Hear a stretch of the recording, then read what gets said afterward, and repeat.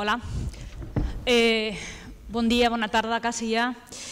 En primer lloc vull donar les gràcies a CUP Sanitat i a CUP en general per la possibilitat d'estar de, aquí, no? però també vull donar les gràcies a totes les persones, moviments socials que esteu aquí, als meus amics i amigues quincemeres, a les meves amigues, eh, dic les meves amigues perquè tot, totes eh, podem ser estimadíssimes, però de vegades no i ara us explicaré per què. Uh, sobretot als moviments socials que esteu aquí donant recolzament a aquesta iniciativa. Us faig una prèvia primer. Val? Vinc de, acabo d'arribar de, de, Madrid, d'un procés que estem portant, que després us explicaré perquè la demanda que, que, em, que va fent bueno, la, la senyora diputada Isabel Vallet eh, va ser precisament de que en aquests moments, a nivell de Catalunya, a nivell d'Estat, s'estava plantejant un atac contra el dret de les dones a decidir. No? Uh, podeu suposar que estic parlant de l'avortament, òbviament. No? Uh, em va semblar no solament una idea excepcional, sinó que era una oportunitat pues, per per plantejar-ho des d'una vulneració de drets. No? En aquesta taula, a més, que moltes vegades el tema dels determinants socials es veuen com algú molt teòric, etc. No?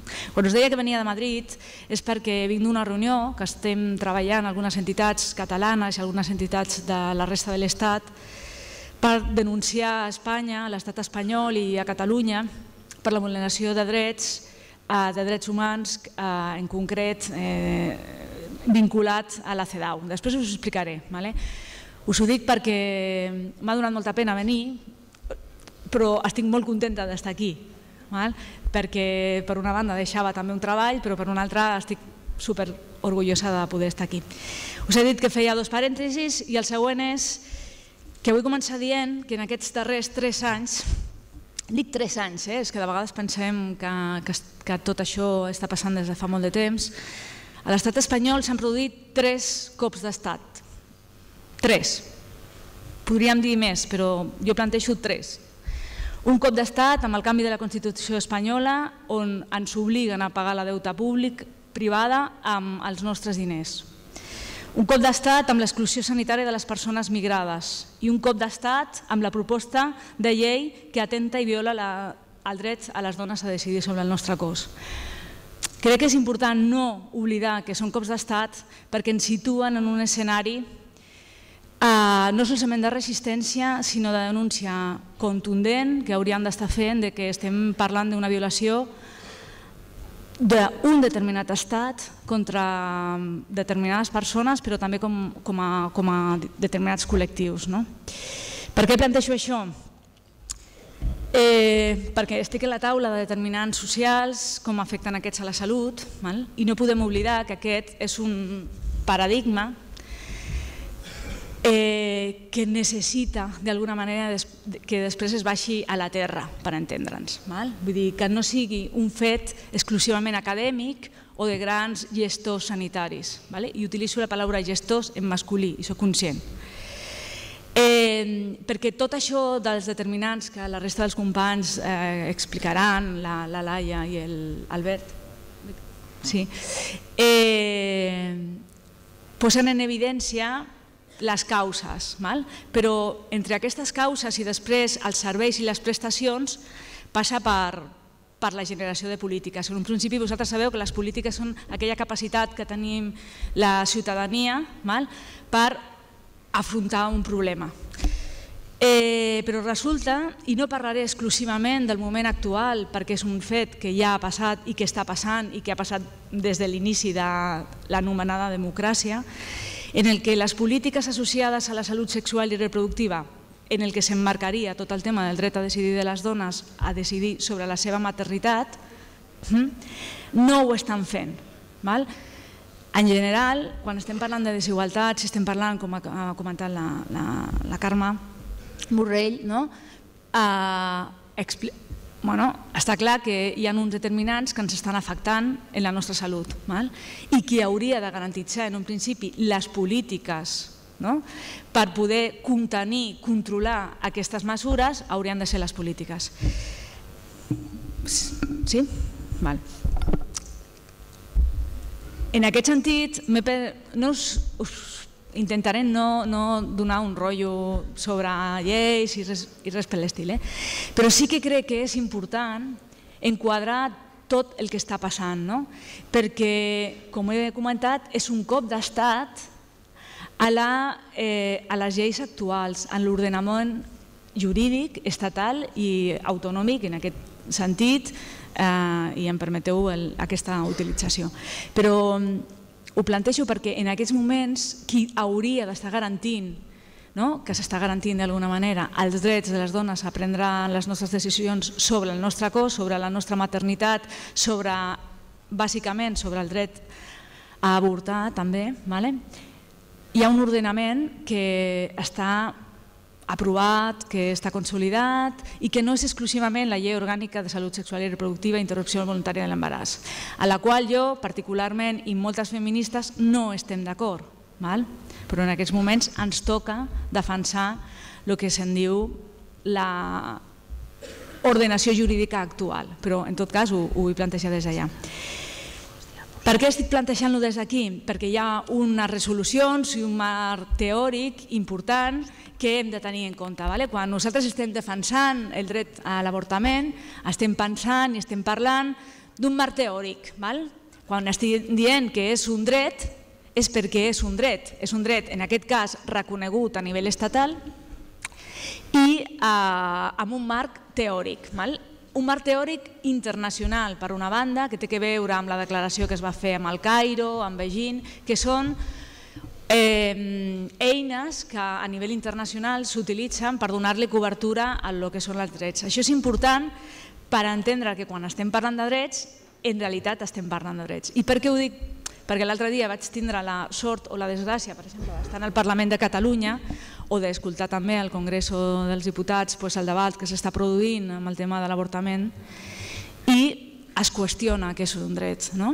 I, I crec que tenim que tindre molt clar que a nivell internacional està reconegut i a més reconegut i que obliga a Espanya, a l'estat espanyol, a complir-lo, però a nivell ideològic les bases de moltes de les lleis d'igualtat que estan arreu del món tenen a veure i reconeixen aquest dret. Crec que és important, sobretot perquè estem parlant de marcs ideològics. Vale. Eh, insisteixo, no, no intento fer una classe magistral, el que intento establir és que quan estem parlant d'això estem parlant d'ideologia. Val?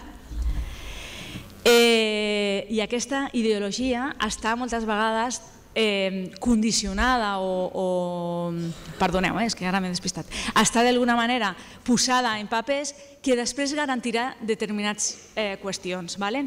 I us poso un exemple amb la eh, Estratègia Nacional de Salut Sexual i Reproductiva, perquè és clau pensar val, que quan estem parlant de, de, del dret de les dones a decidir, estem parlant del dret a les dones a decidir sobre si volem ser mares o no volem ser mares. Sí? Això s'entén? Ho tenim clar, no?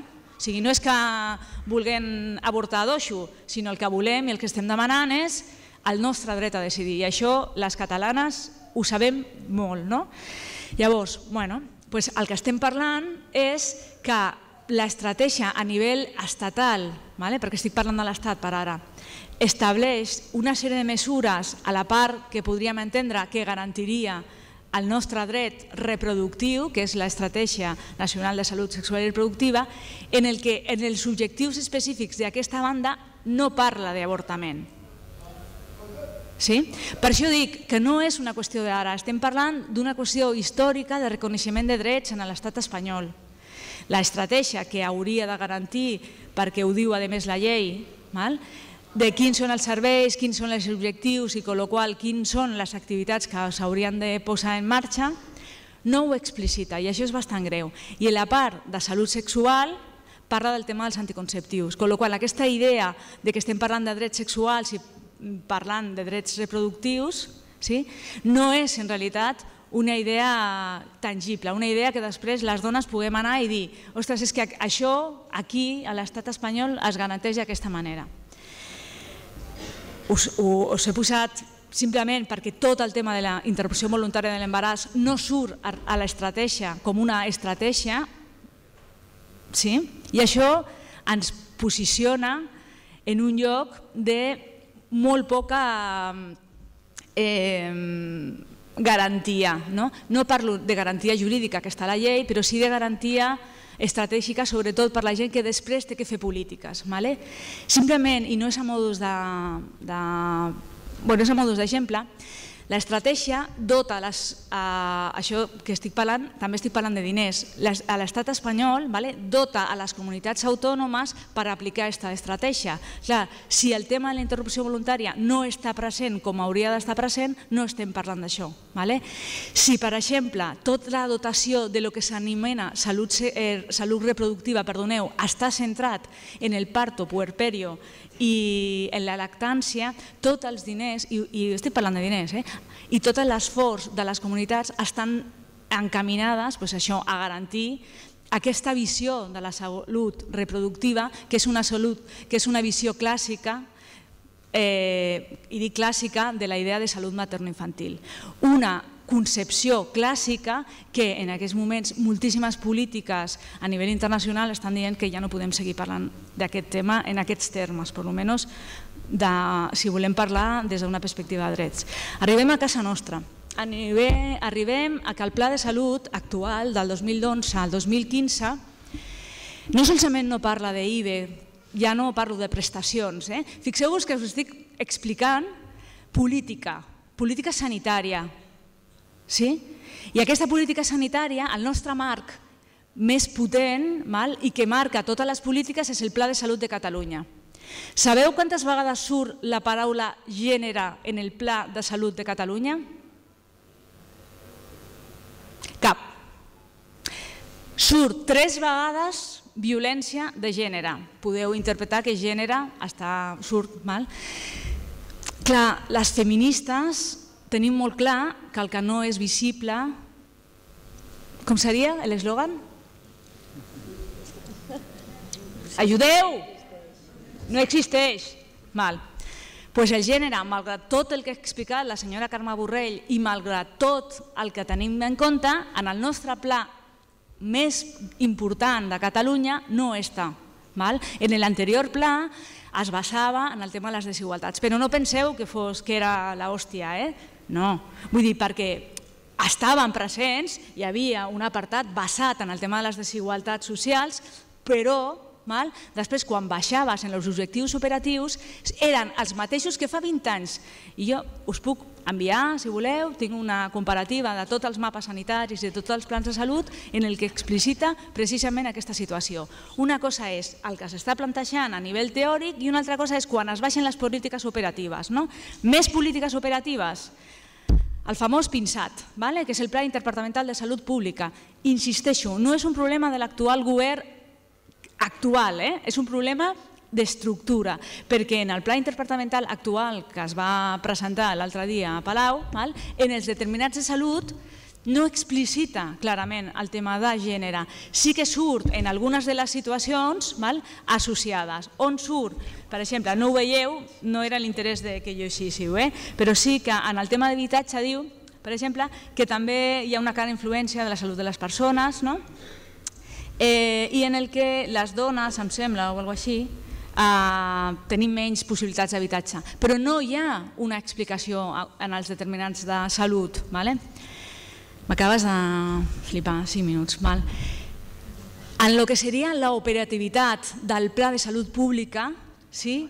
El, eh, les accions de les que parlen quan estem parlant de gènere, hi ha una que és les actuacions que s'estan realitzant, que són les d'alimentació, i en els altres, que és l'únic que surt amb el tema de salut sexual i reproductiva, l'únic que surt és de la perspectiva de Ehm, de factors de risc eh, associats, ehm, en aquest cas, a joventut i drogues, en el que es planteja als joves amb comportaments de risc per drogar-se, que molt malos, i per tindre relacions sense preservatius. Vale? Òbviament, en relacions heterosexuals, no penseu. Val? Però la història és, dret a decidir és un dret, no? Sé que pot semblar que, que és una anada de la olla, però no, perquè, òbviament, és un dret humà. Val? És un, està reconeguda com els drets humans, no en la declaració, estem parlant de la declaració de drets humans, està en el, 2000, en el 1948, val? però sí en, la, en, en el desenvolupament de lo que entenem per drets humans, vale? que seria la segona fase, que són els anomenats PIDES, que són els drets econòmics, socials i culturals. Aquí sí que estan explicitats. I això és important que ho tinguem, sobretot quan nosaltres estem defensant el model de drets. No entraré, està Viena, en, en Viena explicita molt clarament, és, una, és, la un, és la primera conferència internacional de drets humans que explícitament ens reconeix aquest dret i això és una que tenim que tindre en compte quan nosaltres estem argumentant la defensa de la, de, del dret a decidir de les dones. No? Vaig una mica ràpid. El tema de la CEDAW, que és el que es deia que estàvem intentant plantejar-ho com una denúncia. La CEDAW, que és un instrument que té Nacions Unides d'obligat compliment, i això és la clau, perquè és d'obligat compliment, i l'estat espanyol l'ha ratificat, amb la qual està obligat a complir-lo de forma sistemàtica el, el, el, el, no el compleix igual que a Catalunya, val? però en un dels apartats absolutament important en el que diu insisteixo, d'obligat compliment en el que parla de la necessitat de, perdoneu, de que l'Estat, vale, que estem parlant d'Estat, garanteixi que el dret de les dones a decidir lliure i responsablement el nombre dels seus fills intervals entre ells, els naixements i tenir accés a la informació. Aquest fet és absolutament clau perquè del que estem parlant és d'això. Lo innombrable, ¿vale? o sigui, ni la vull, uh, bueno, la nombraré. Ley orgànica per a la protecció de la vida del concebido de la mujer embarazada. Això és un altre paradigma. Val? Això és el paradigma del cop d'estat eh, que s'ha realitzat i que es, si, si no l'aconseguim parar mm, ens, ens la fotran més encara, en el que el paradigma és un atac val? Mm, violent cap a les dones, con lo qual jo no parlaria i us encoratjo a no parlar de contrarreforma, sinó de violència estatal masclista, perquè aquest plantejament, aquesta proposta de llei és això, és un atac estatal masclista a les dones. I aquest és un fet fonamental per poder-ho entendre, perquè des d'aquí és aquest paradigma. Perquè l'Estat, que està obligat a garantir el dret a decidir les dones, el que fa és no solament violentar-nos, culpabilitzar-nos, sinó que a més posar-nos en una situació en el que no solament la nostra autonomia, sinó la nostra llibertat estarà eh, violada per noms i cognoms concrets. Val?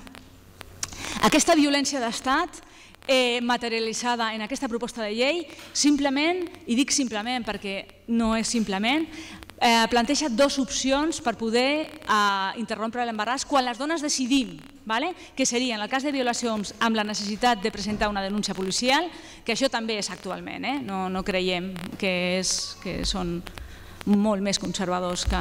Bueno. I en el termini màxim de 12 setmanes de gestació. Això sí que és greu perquè el que passa és, bueno, no crec que faci necessari entrar amb el tema de violència sexual, si voleu després en el debat ho podem posar en evidència, però moltes dones que han estat violades en, per la situació posttraumàtica no accedeixen a fer la interrupció en les 12 setmanes. Vull dir, aquest és un fet que bueno, generarà moltíssim patiment a les dones. I, per suposat, la idea aquesta de que les dones estem boixes i que les dones que podrem avortar novament són les dones que, per un, una raó de salut física o psíquica, que haurem de demostrar de forma mm, amb una tortura, i ho dic així perquè com és violència d'estat, això és tortura, en el que les dones haurem de fer un peregrinatge per serveis dient-li dígame usted, señor médico, que soy loca i que puedo avortar, perquè això és absolutament gran. Això és la lletra petita, de la llei. I com veieu, no solament està cap a... no la podeu llegir, és absolutament intencionat, val? perquè el que posa en evidència és que és una tortura, perquè tindrem que anar a dos psiquiatres que ens diguin que, que, que, que aquest, aquest embaràs ens portarà a un lloc absolutament eh, de buixeria, no? de que, que a més ens afectarà per tota la vida, perquè una de les claus absolutament important és això, que, que haurem de demostrar que això ens afectarà per tota la vida en el que després d'aquells dos eh, informes hauran de fer-nos un altre informe de, sabeu aquello de, um, sí, sí, que està molt boixa, llavors ens faran un altre informe i ens diran, ara cap a casa, set dies més vale? perquè tens que seguir pensant en el que obligatòriament, a més, el metge, quan ens digui set dies més, el que hauria de fer és explicar-nos eh? explicar-nos totes les opcions que ens dona l'Estat i que el que estem fent és un assassinat. Vale? No ho dirà d'aquesta manera, però el que tindrà l'obligació de fer-ho de forma verbal. Val? Què podem fer? Jo crec que tenim tres opcions, que tenim mm, una té que veure amb la part legislativa, una altra té que veure amb la part de mobilització social i una altra, òbviament, amb el tema de desobediència civil. A nivell internacional tenim que demanar el suport dels països, tenim que fer denúncies a Estrasburg i a Brussel·les, el que estem fent és construir la denúncia a la CEDAW, crec que es pot fer una denúncia al Consell de Drets Humans de Nacions Unides, una idea que, que crec que podria ser és demanar la retirada dels ambaixadors a estrangers de tot l'estat espanyol per vulneració de drets. Això es pot fer, això es fa en altres situacions, això és una vulneració de drets, anem a per totes. Què podem fer a nivell estatal? Portar-ho al Constitucional novament, perquè no és que no sigui constitucional, sinó que és preconstitucional, perquè la llei del 85 en el tema de la despenalització estava anterior, amb la qual seguint a més que no podem anar cap endarrere, és preconstitucional. És una violació a l'Estatut de Catalunya on hi ha altres estatuts, el de València eh, també, el de Balears ho sento, no estic segura, en el que allà es posa en evidència el nostre dret a decidir. Força amb el tema de la mobilització social i la possibilitat a lo millor de fer una iniciativa legislativa popular. I aquí a Catalunya ho podem seguir treballant després, però jo crec que cal estudiar i actuar depenent en els diferents moments. En aquests moments encara estem a temps de tirar això endarrere, per això insisteixo a nivell internacional i a nivell estatal, tot el tema de construir una desobediència civil respectuosa per als drets de les dones, el tema de les mobilitzacions fonamentals i també a nivell de Parlament doncs el tema de les mocions, que crec que són importants, la llei pròpia al Parlament, eh, donar-li quatre voltes a la idea de llei pròpia al Parlament, si ha de ser a una actuació legislativa i judicial de protecció en aquests moments en la situació en la que estem o realment hem de, de, de fer una llei de salut sexual i reproductiva. Això és un debat, jo crec, bastant intens. No? Eh, res més. Eh, avortament lliure i gratuït sense que hi hagi cap tutela de l'Estat ni de l'Església. Gràcies.